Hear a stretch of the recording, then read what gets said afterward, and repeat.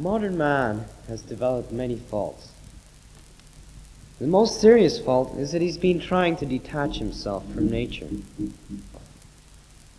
He is himself a part of nature and depends on the rest of it for his own survival.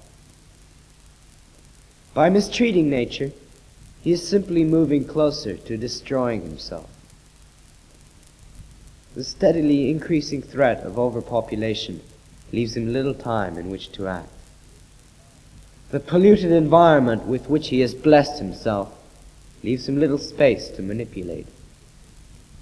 His increasing abuse of nature leaves him little to be proud of.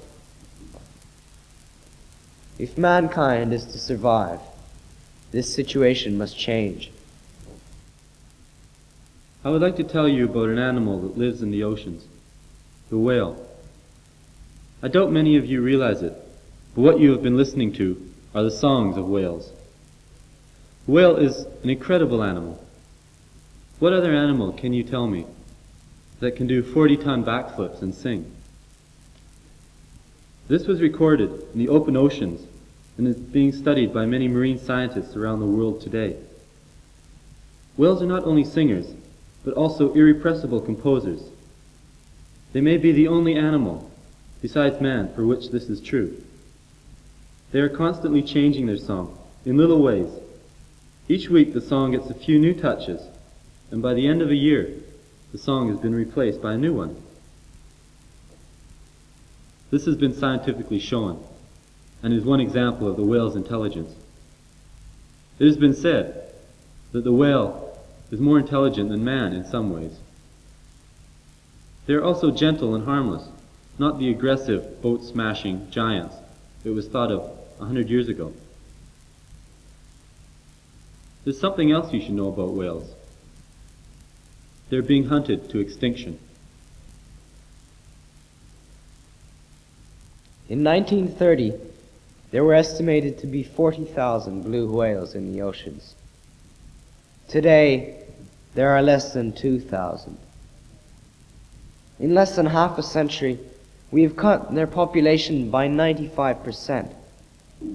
In less than half a century, we have turned 60 million years of history into margarine and cat food. At the present rate, there is one whale killed every 12 minutes. That is two during this service, and three more for each lesson you sit through this morning. Think about it.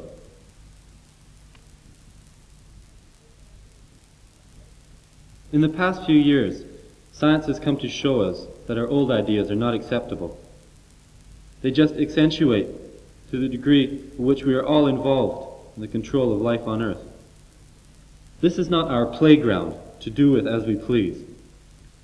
If we are not very careful, we will only have ourselves to blame for an ugly, polluted, joyless world. At present, it's man against nature. A battle which nature is losing, but a battle which man is simply bound to lose in the long run.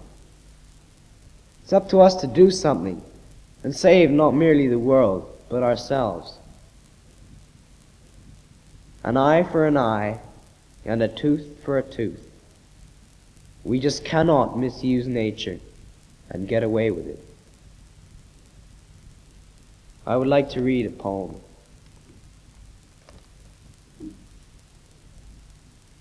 Who am I to take breath, to forge such beauty into power, to steal life itself?